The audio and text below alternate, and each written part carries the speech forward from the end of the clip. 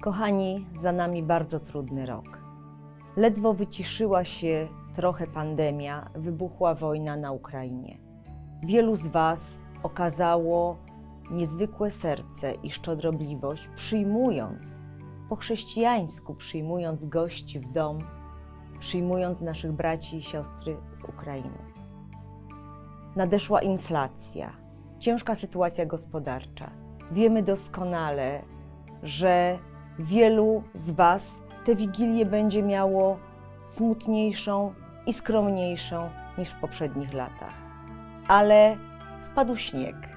Być może będą to białe święta.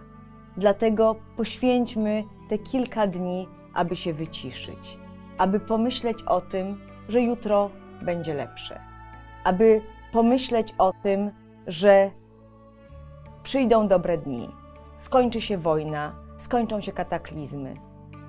Dlatego życzę Wam tego wszystkiego. Życzę Wam zdrowych i radosnych świąt. Życzę Wam spokoju, życzę odpoczynku, życzę wytchnienia i ucieczki od codziennych problemów, skupienia się na sobie, na sobie nawzajem, na swojej rodzinie, na swoich bliskich. Zdrowych i radosnych świąt i szczęśliwego Nowego Roku.